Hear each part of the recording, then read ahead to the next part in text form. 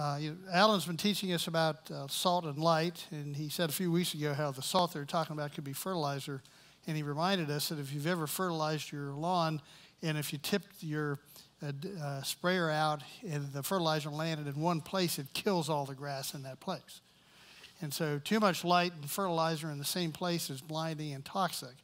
That's why, although it's good to have church, church is really an equipping station so that we could broadcast the light and the fertilizer and not have it here because it tends to be kind of toxic and dangerous if it's all about us.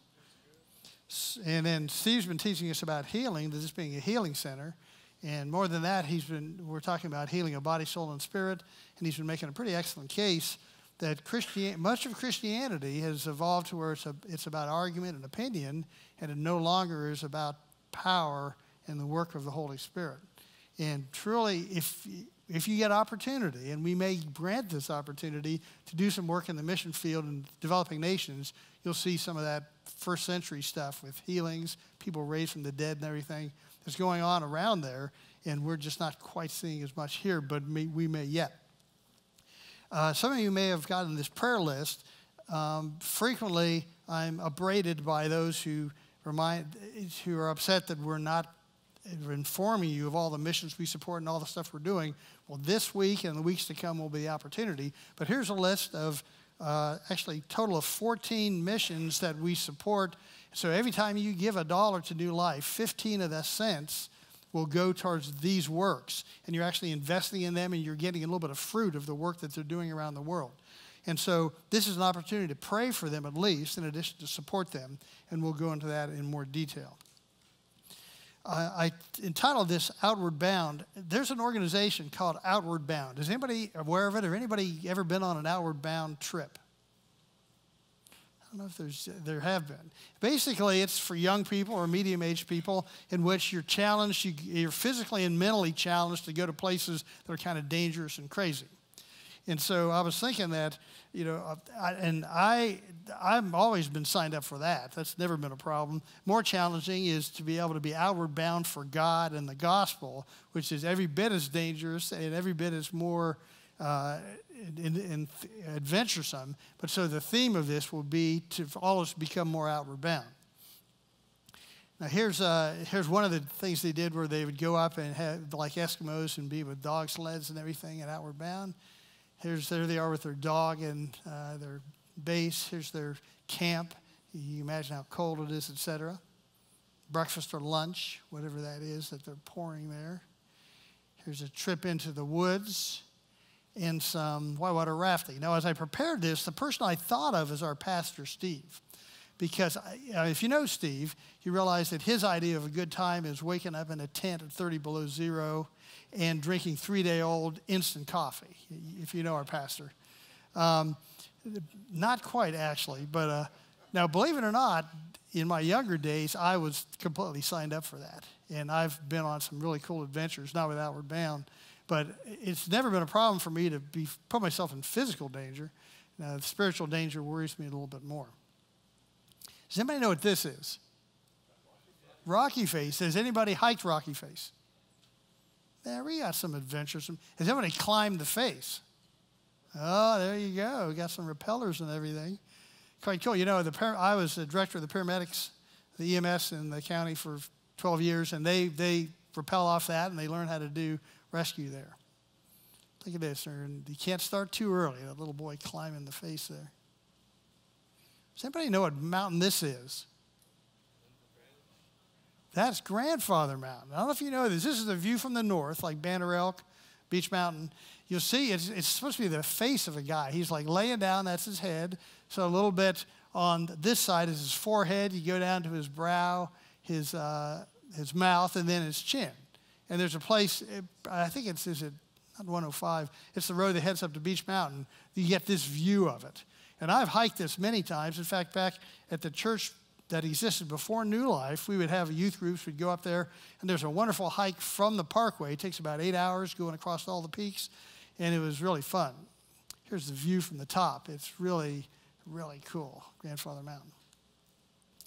Now, to brag a little bit, in 1918, my, no, 18, 1981, uh, my wife and I were lived in Kenya for a summer at an elevation of 7,000 feet. At 7,000 feet in the mountains, there's no insects. There wasn't mosquitoes or anything. And it was cool in the morning. It got hot in the day. It rained every day at 2 o'clock, cooled everything down. There was baboons and monkeys around. It was like paradise. And we were there for two or three months. And then I got a chance to, this is Mount Kenya, a 17,000 foot peak, and I climbed this mountain, a three day expedition. On the top of that mountain, it, the oxygen, percentage of oxygen in your blood is 80%. Now, some of us, unfortunately, recently, some of our body have had COVID. And if there's this test where they put this thing on your finger and it checks your oxygen, it's supposed to be 100%. 95 and above, no problem. But if you have pneumonia problems, it drops lower, so you have to be on oxygen. And if you get in the 80s, you have to be on oxygen. Uh, well, actually, on the peak of Kenya, it's 80%. I had a headache. I got mountain sickness. If I knew what I knew now, I probably wouldn't even attempt it. In fact, Mount uh, Everest, the oxygen concentration is so low it approaches that amount in your veins. So if you took a person and put them on Everest with a, just dropped them up there, uh, it was like putting a bag on his head.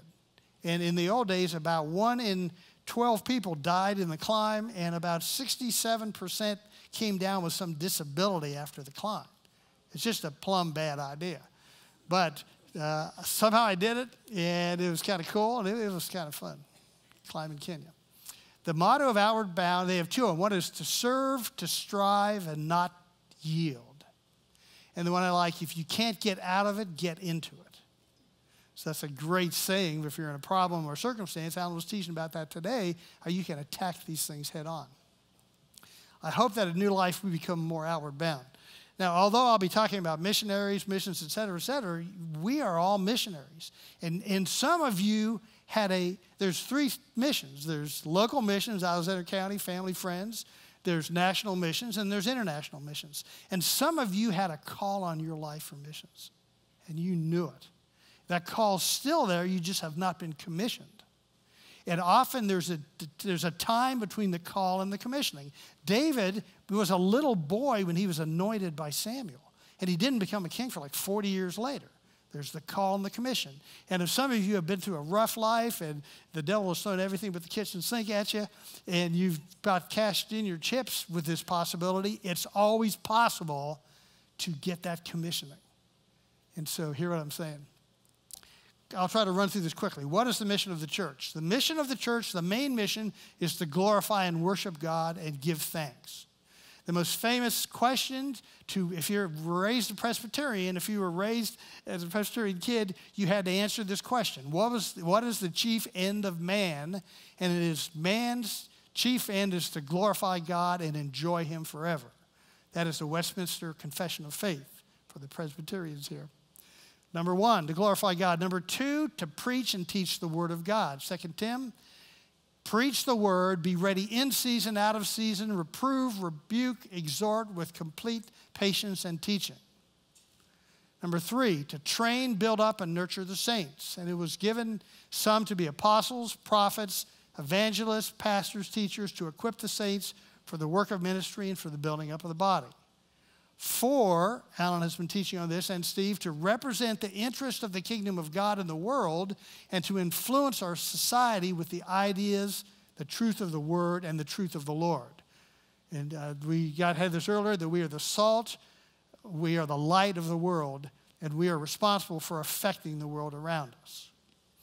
And as Alan and Steve always teach, our goal is to bless our community and not curse our community. In Jeremiah, the admonition to the, the Jewish people that had been sent into, into captivity in Babylon, these cruel enemies of theirs that had destroyed their temple, destroyed their place. They were to seek the welfare of the city, which had been Babylon. In our case, it's the nation, the world, where I have sent you in exile and pray to the Lord on its behalf, for in its welfare you will have welfare. So we are to be a blessing to the place around us. And number five, to make disciples and evangelize the world. Jesus his last admonition before uh, he rose to his Father was All authority in heaven and earth has been given to me. Go make disciples of all nations, baptizing in the name of the Father, the Son, and the Holy Spirit. Now, our personal gifting, passions, and concerns will lead us to value certain areas of ministry. In leadership here, I mean, as a church, you're about one of the least complaining churches I've, I'm aware of. You're a good crowd. But sometimes people will say, you know, why aren't we doing more evangelism? Or why, are, why is there so much worship? Or why is there so much word? And usually that is you have a, a gifting in a different in worship or in evangelism. And so it, that's, that's the eyes you see through. It's, it baffles you that everybody is an evangelist. Why are we a, and so the point is, sometimes it's just because as God has made us different, there's, there's a whole thing that the church needs to be doing, we have to be involved with. But sometimes certain churches emphasize other, other certain things and other things. And if you're not in that emphasis, you'll sometimes kind of be down on the church. But you need to bear with us. Um, because there's a risk you'll end up judging church as being inadequate when you're just seeing it from your gift. If you understand what I'm saying. Okay, now at New Life, clearly we have four emphases worship, word, prophecy, and healing. And if you listen to Alan at all, prophecy this church is not future telling. Prophecy is how we experience God in the moment by sensing the presence of the Holy Spirit, the leading of the Holy Spirit, being able to hear the still small voice of the Spirit. And then that makes us a prophetic people like the Old Testament, where sometimes some people would occasionally hear from God and speak it. We have that opportunity all the time because the Spirit has been poured out on all flesh by the Joel prophecy and the preaching of, of Peter, Peter at Pentecost. Point being that prophecy is about experiencing God. And then finally, healing, that it has been prophesied that we'll be at a healing center. We've experienced it to some degree, and we will more. more. That is our emphasis. Um, on prophecy, the apostle writes, Now I wish that you all spoke in tongues, but even more that you would prophesy. And do not quench the spirit, do not despise prophecies, but test everything, hold fast what is good. And so, for churches that are nervous about prophecy are just not seeing the word, explaining that things that sometimes are a little bit difficult, you work through and you learn them because Paul and Jesus and God want us prophesying. With respect to healing, First Peter, he himself bore our sins on his body on the tree that we may die to sin and live to righteousness. By his wounds you have been healed. A promise now, future, and past. And uh, in 3 John, beloved, I pray that you all may go well with you, that you may be in good health as it goes well with your soul. So it is God's will that, that his word is preached, worship occurs, there's prophecy, and we pray for healing. What is the weakness of New Life? Our weakness has always been outreach and evangelism. Now, why is that? The main reason, unfortunately, is that usually the, the emphasis of the church is set by the leadership. And in you, you got some decent, fairly good leaders here, myself included. Uh, but none of us are really evangelists. And so you don't have evan- since we don't have evangelists in the leadership, that we run the risk of not majoring on that or not trying to bring it to the forefront. But some of you are evangelists, all of you are missionaries, and we are willing to say yes to this as because we know that is a big part of what the church is up to. Uh, Jesus said in Acts, you will receive power when the Holy Spirit has come upon you. You will be my witnesses in Jerusalem and Judea to the ends of the earth. Now, the promise, we want the power of the Holy Spirit here. The main promise of the need for the power of the Holy Spirit is to make us witnesses. And so, not only would it behoove us to be witnesses to extend the gospel to the world, but it is very likely we will see more power of God if we are witnesses. God loves healing, He loves prophecy, He loves word, but truly the Savior, as He left, said, I gave you power to be witnesses. Signs and wonders tend to follow where individual Christians and churches are faithful witnesses. We truly, all Christians, myself included, we need to be more outward bound, dedicated to outreach, this will not change what we're doing in New Life, our emphasis or direction, but it may push us to step up as our role as witnesses in the community.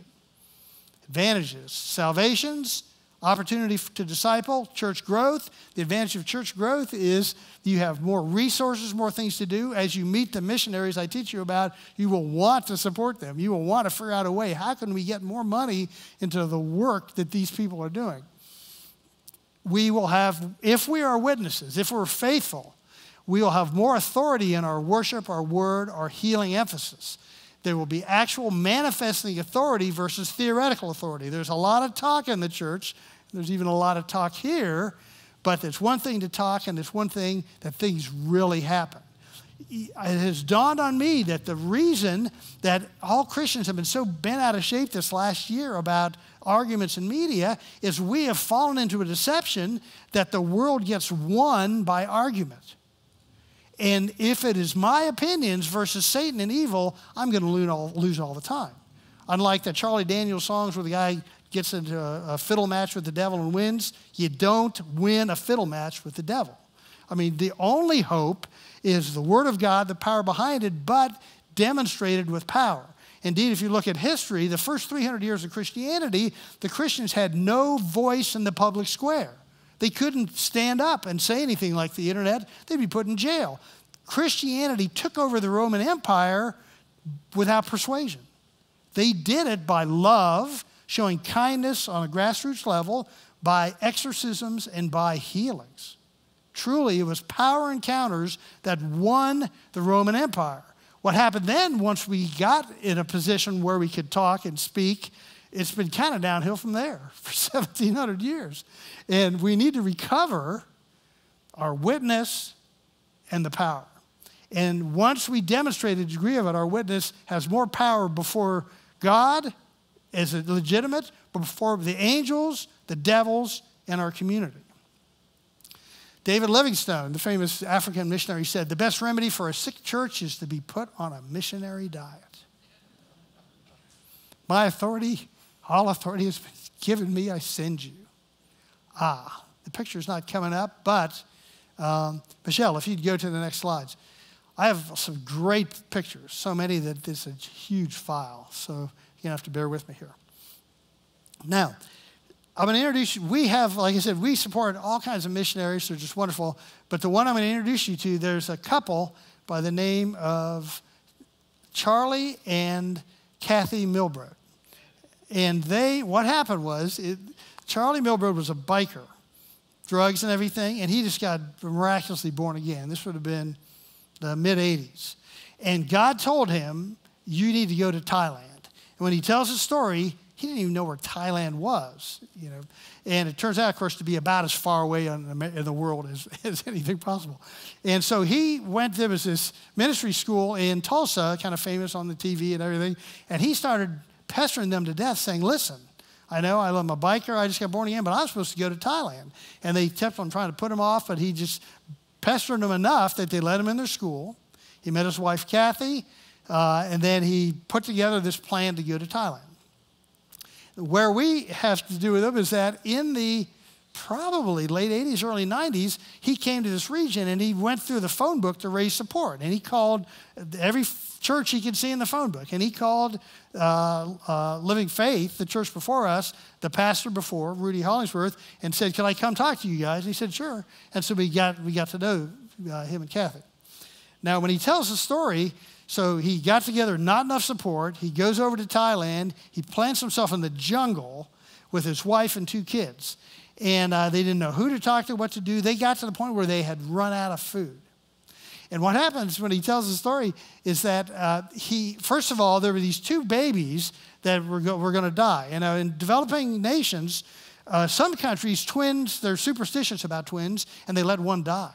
They think it's bad luck when Lynn and I were in Kenya, we were rescuing twins all the time. Some countries, like Africa, value the women better and don't care if the little boys die.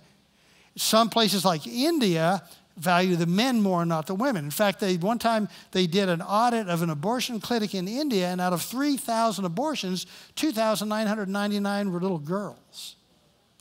That was interesting because the feminists were a little worried about that because, you know, I guess it's kind of a problem if they abort all the women on earth. That'd defeat our purpose somewhat.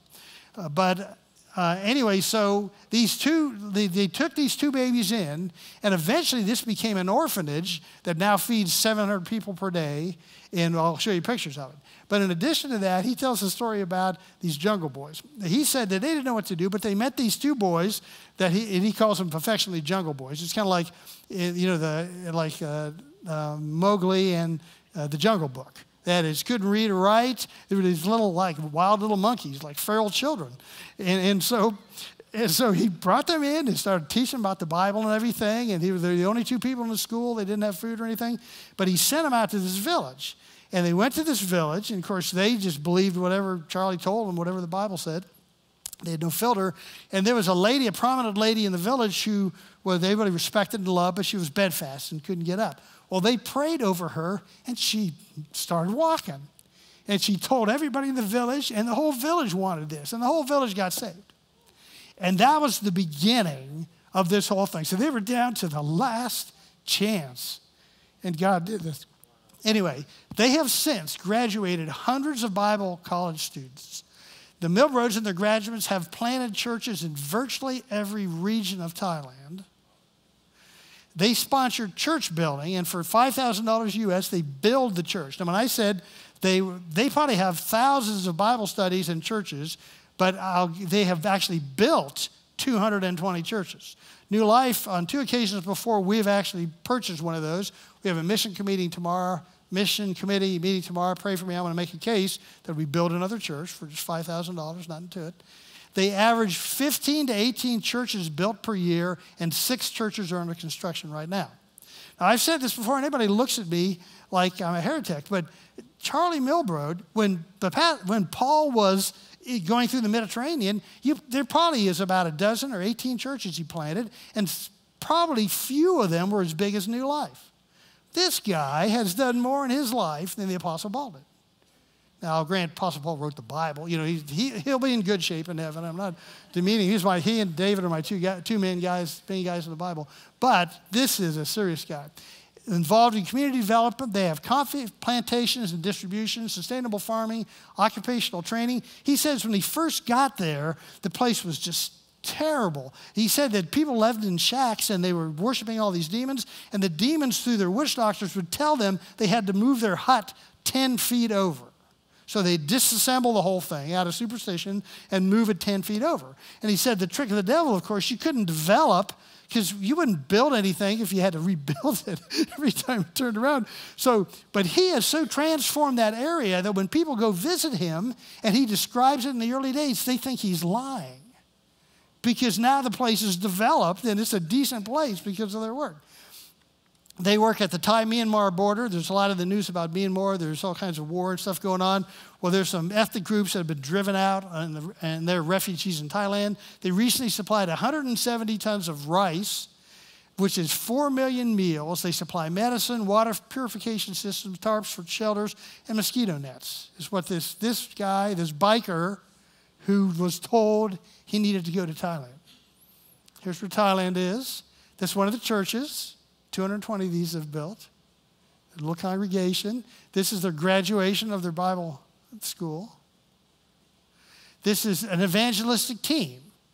Now, I don't know if you know, but Andy Elliott has said if you could send out a team like this, he would donate some of the guitars. Maybe we'd pick up the tab there and you could go out and go to Walmart and play your guitars or whatever the heck those guys are doing.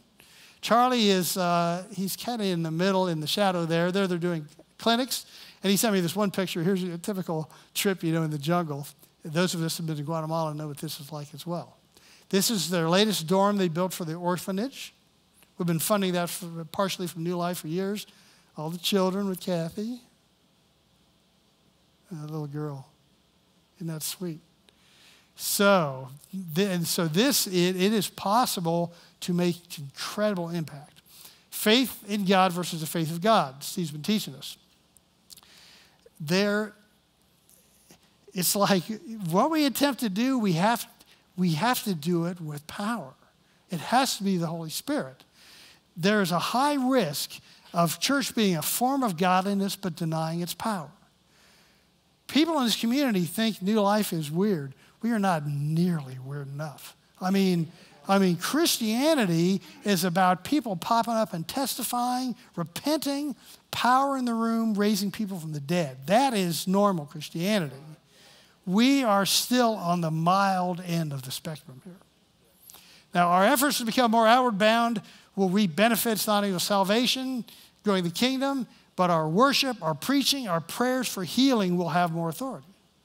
As God, our human community around us, and the satanic realm realize that we are walking in authority and this isn't a bunch of talk.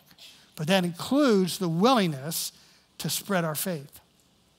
And they went forth and preached everywhere, the Lord working with them, confirming the word with signs following. I, I had a slide and I took it out, but I think of it. If you're, if you're in astronomy, there are these little tiny stars called fifth or sixth magnitude you can't see. And the way you see it is you look a little bit away from it. It's crazy.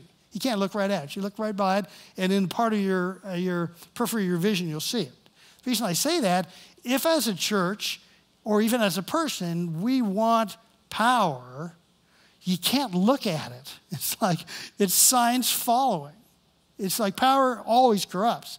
You have to be obedient to the Savior with holy lives, with our main purpose, which was the, what was given to us as witnesses, the power, and then the power will truly come. Uh, as Christians, we need to remember that it is not just what we're saved from sin, death, and hell, but what we are saved for to bring the good news to others. We have been saved in order to bless others by offering them salvation, comfort, support, and love. Our goal should be to become physically, psychologically, spiritually healthy enough to be in the front lines again and serve in the army of God and not spend our whole lives in the hospital of God. We are all missionaries to our small realm of influence your family, your children, your neighbors. If we have the Holy Spirit, we have the responsibility to be good and effective witnesses in the way we act and what we say. Charles Spurgeon said, Every Christian is either a missionary or an impostor. Here is his church in England, picture of it.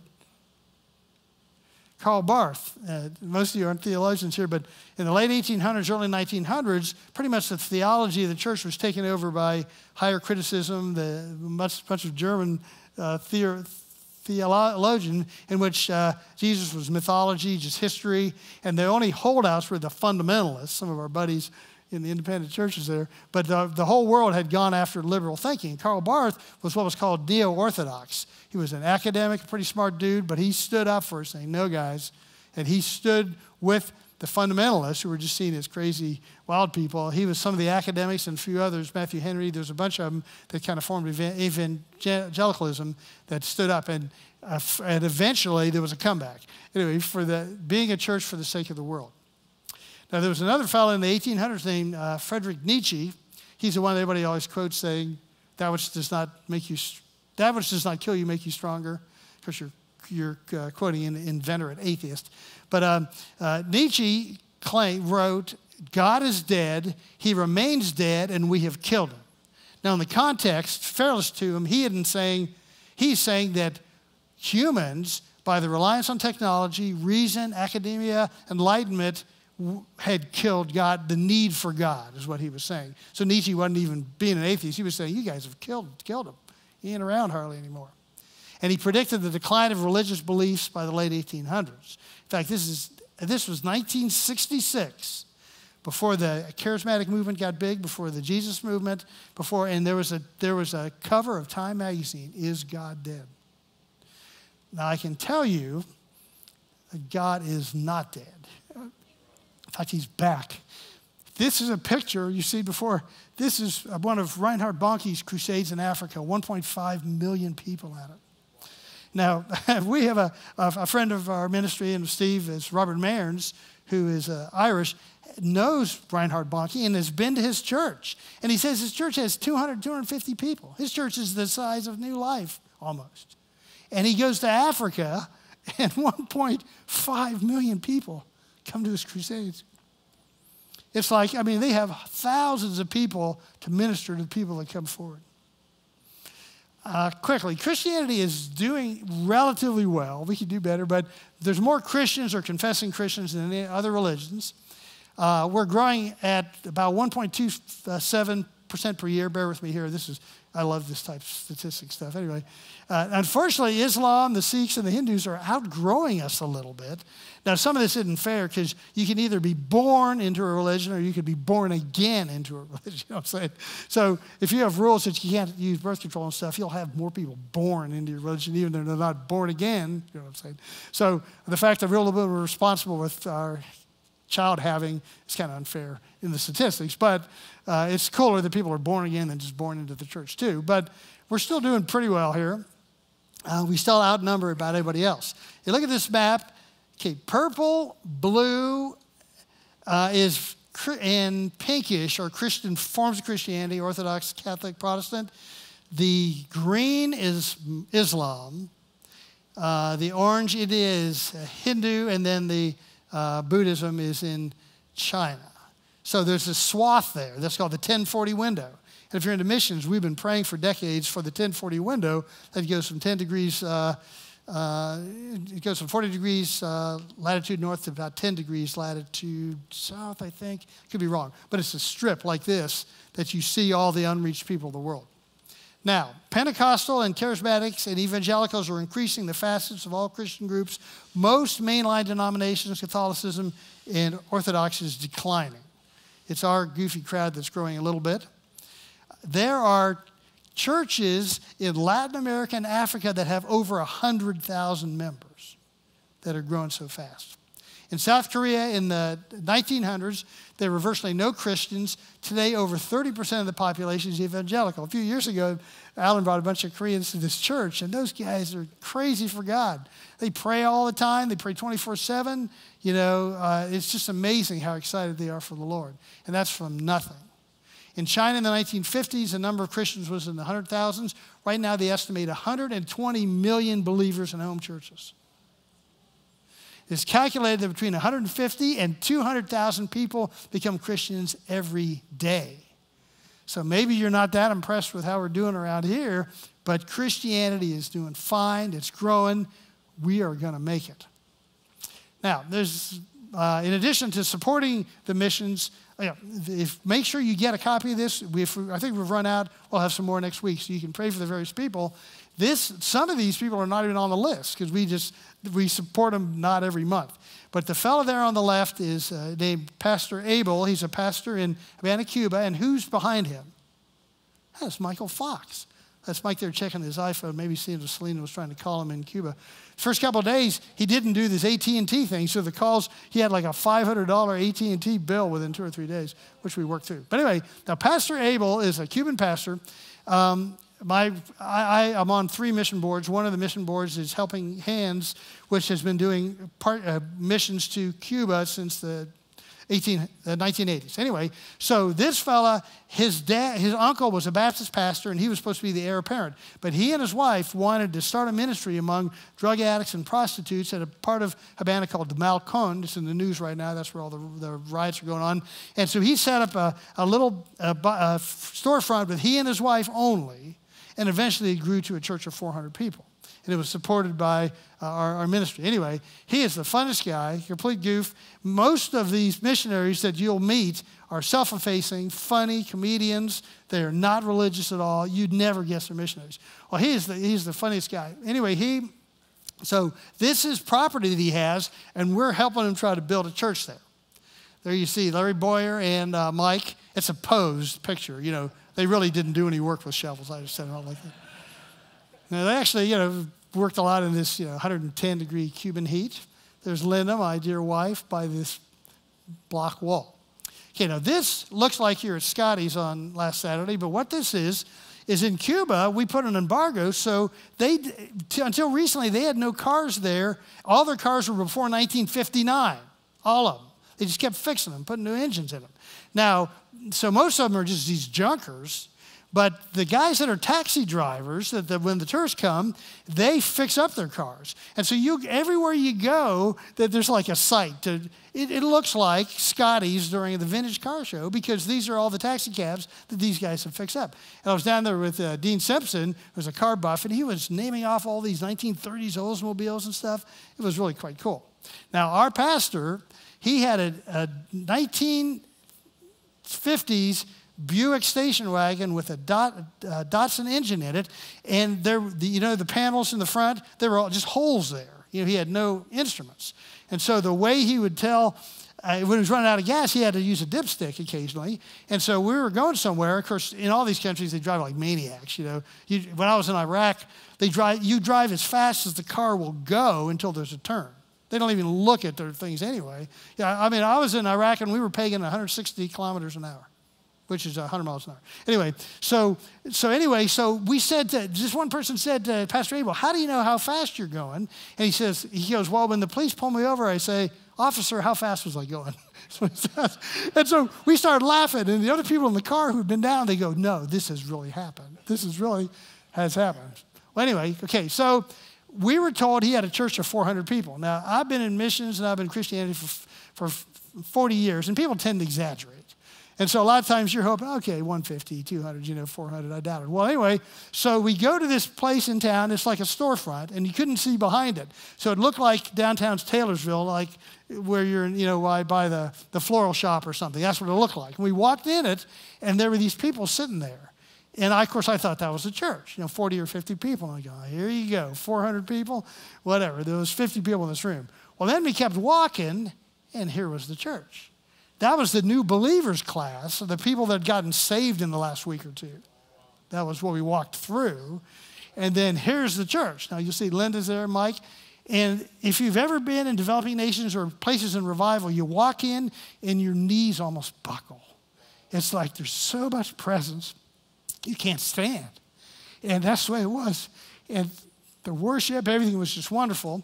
This is the people that got saved during the service that would be added to that other room anyway, now this is the way they did their life groups. They would go out in the square and they would worship, and of course people would come up and they'd talk to them and they'd talk to them about the Lord and they'd let them sing too, and so it was it was really happening, and it was a wonderful experience. It was it was it was an I know it's a communist country, but they treated us like kings. We were taken care of. It's a you know it's like a two-hour drive from a flight flight from here. It's easier to go to visit these guys than it is to go to California, and maybe a safer place in California too, actually. Um, but right, so we're, we're trying to get back down there. Right now, there's riots, there's problems. COVID shut the whole place down. But uh, uh, Mike Fox and I keep in touch with Pastor Abel, and eventually we'll go down there. Honestly, don't be intimidated. You want a great trip? We go we stay at a, a Methodist dorm there. Uh, they feed us, they take care of you. Um, it's a wonderful trip. Okay. Now, Christianity in Europe and the United States has recently been described as, by Christian growth experts as Western, educated, industrialized, rich, and dem- democratic, which spells weird. Now, it is not weird because it's goofy, spooky, or strange. It's actually pretty tame, sophisticated, and relatively accepted by its culture. Now, although I know every once in a while people calls us names on the internet, that's not real persecution. Western Christianity is a religion of ideas, opinions, and arguments that tries to win convert, converts with persuasion, but not by the demonstration of power. It may have the power to save, but it is powerless to heal and deliver from demons. In contrast, Christianity in Latin America, Africa, and Asia reaches the poor in autocratic governments it's Pentecostal, charismatic with an emphasis on personal encounters and the gifts of the Spirit, recognizes the demonic and the need for healing of body, soul, and spirit, features supernatural healing and exorcism, is a religion of power, not just argument. This is the new normal. Now, I say new compared to 1700 years of history. This is the original Christianity. And the reason we're weird is because we have taken a side road to argument, discussion, and philosophy away from the original power and the power that's available. Apostle Paul, I, when I came to you, brothers, I did not come with eloquence or wisdom as I proclaimed to you the testimony about God. For I resolved to know nothing while I was with you except Christ and Him crucified. My message and my preaching were not with persuasive words of wisdom but with a demonstration of the Spirit's power so that your faith would not rest on wisdom, but on God's power. Now, we're not talking Peter and Jesus here, we're talking Paul, you know your theology, this is the guy that set the pattern for the church, and he relied on power. Developing nation Christianity, lacking the resources of the West, depends on the Holy Spirit and power. Kingdom demonstrated, not just talked about. A philosophy of, if for you Latin fans, contra factum non est argumentum, which means against the fact there can be no argument.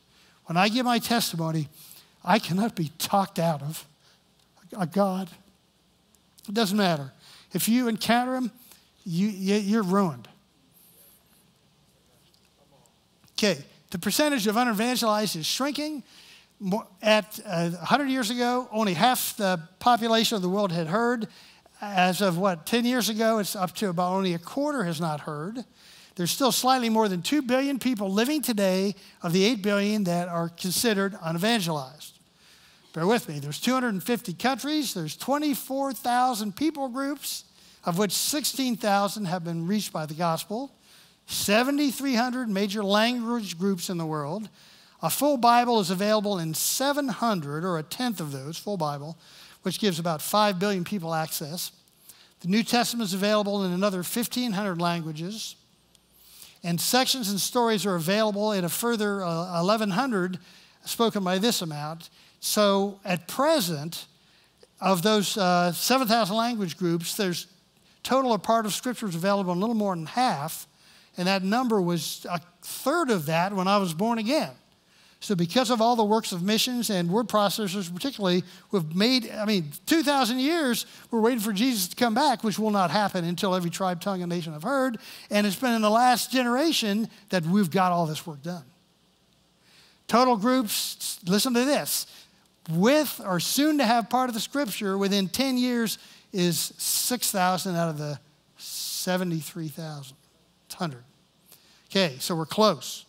And trust me, I'm going to go through a few things quickly. What has to occur before Jesus returns? Events that have occurred in part. One is calamities, earthquakes, natural disasters, plagues, wars, famines, false prophets and deceptions. The internet is hotbed of this right now that everybody can see and hear. You know, you know, in Revelations, how everybody's going to see the Antichrist. I mean, just open up your phone. You know, we're so close. Um, the love of many will grow cold persecution of believers. With all the work that's being done in the world and all the persecution coming against Christians by Muslims and Hindu extremists, etc., there are more people martyred per year in the faith than any time in history. So, these things have occurred. What has to yet occur?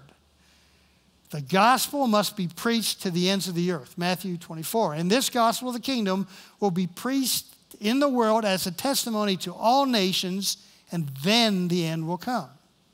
Revelations, worthy are you to take the scroll, open its seals. You were slain, and by your blood you purchased for God those of every tribe and tongue and people and nation. You have made them a kingdom of priests, and they will reign on the earth. You know, I mean, when you read Paul, they thought Jesus was coming back, but the poor guys, they didn't even know that Borneo existed. You know, it's like there was a little microcosm there.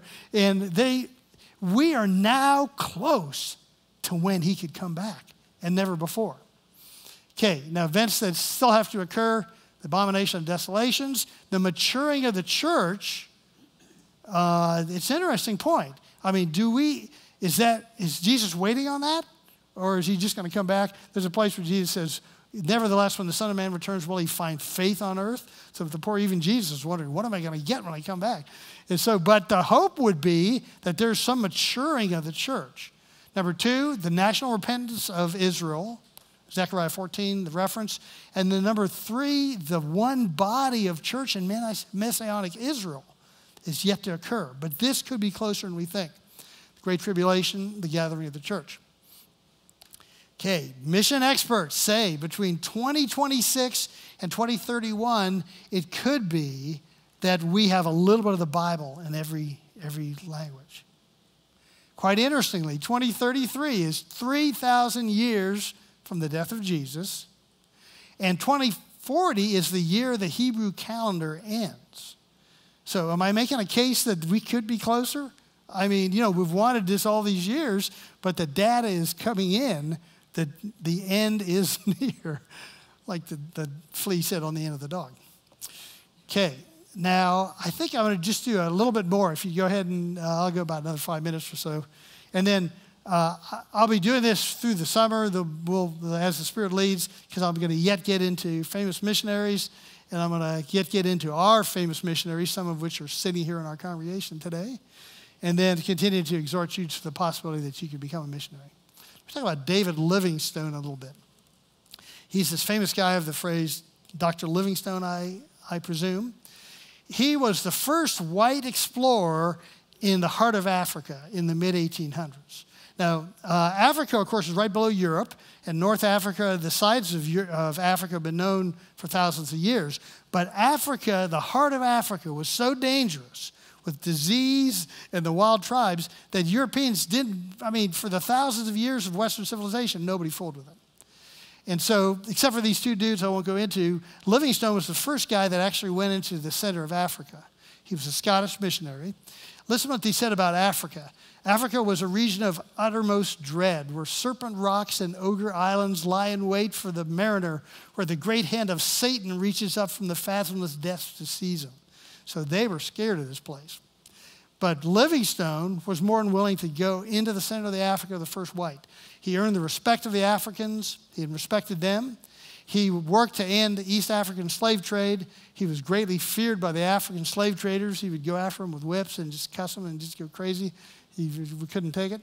He spent the last six years out of contact with the outside world, four of them violently ill with physical problems.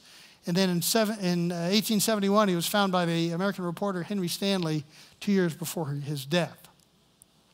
He died at age 60. Here's a picture of his, he's probably sitting there in the front with that younger person uh, with his train of folks going to uh, research uh, places in Africa. He was attacked by a lion that chewed one of his arms, and he had a crippled arm from being bitten by a lion that he was trying to shoot. So he was no wimp. He was a pretty cool guy. This is a picture of Africa. Up top, you'll see desert. Down below, you see jungle. But this was a map of Africa in 1813. You see the lower half, there's no roads.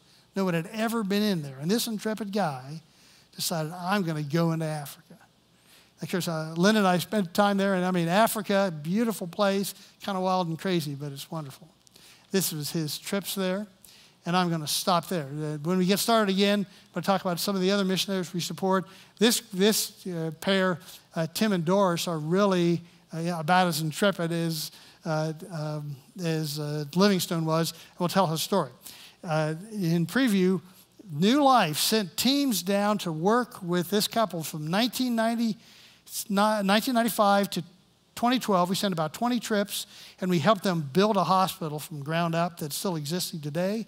We adopted a village in which we helped that village be able to get rainwater catchment, um, sand filters, uh, helped them build a school. And so all these were things we did over the years, and many of these people you're still supporting, and these are still opportunities in the future. So, Heavenly Father, thank you so much for the opportunities we have, I pray, Lord, that you would spark the fire in us again um, of uh, being willing to be outward, in uh, being willing to be witnesses to our family. I pray that, uh, like Alan is teaching us, that we become become salt and light. We don't imitate it. That is, it's easy to witness, just as we have the joy and the peace in us, and just as we're enthusiastic about other things we're enthusiastic about you, in which we can invite people into the faith, invite people to church. And I pray you also would be with uh, those that know they had a calling and missed it, that they would yet say yes to the call in your, their life. In Jesus' name, amen. Okay, there are opportunities. I finished right on time. As Alan said before, a lot goes on after the service. And so you're free to go. But what I'm going to suggest today, you know, most of the time an altar call is, you know, you sinners come forward and confess your sins. I mean, today it's going to be more like a commissioning. That is, if you had hopes that maybe you could go into mission sometime, if you knew you were supposed to and have given up on it, if there you have a sense there's a call in your life, uh, I would love you all to come forward. And there's a bunch of opportunities for you. That is, you can come to the altar just between you and God, and you can say, God, is there still something you want me to do? Someplace you want me to go? Ask for His power to help you. So between you and God here. Uh, the baptism is open. We, the, you know, we, do, we baptize not just once, but several times at New Life, and some people are puzzled.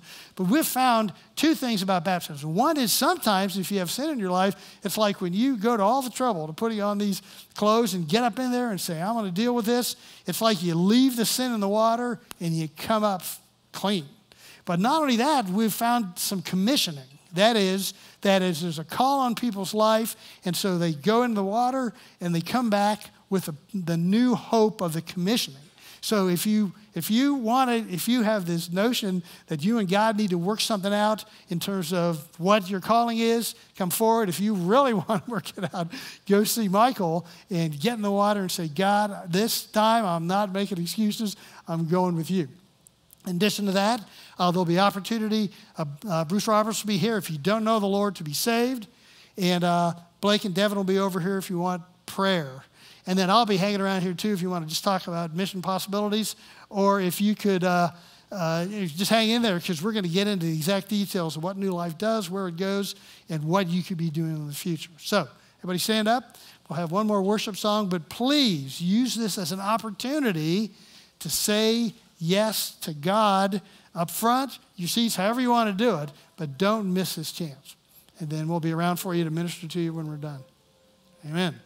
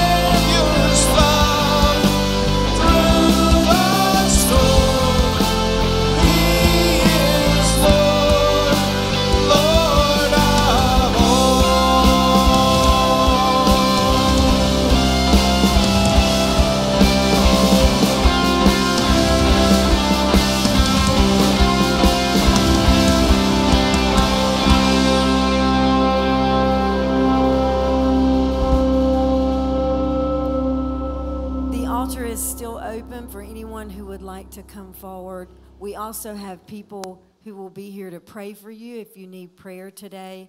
And Michael is over at the baptistry. If you would like to be baptized, we provide all of the clothes. You don't have to have anything um, to be baptized. We have everything for you. So if you would like to be baptized, Michael is here. And we also have communion that um, people can take you through if, if you'd like to. God bless you. May you have a wonderful week. And we look forward to seeing you next Sunday and Wednesday night as well for House of Prayer. God bless you.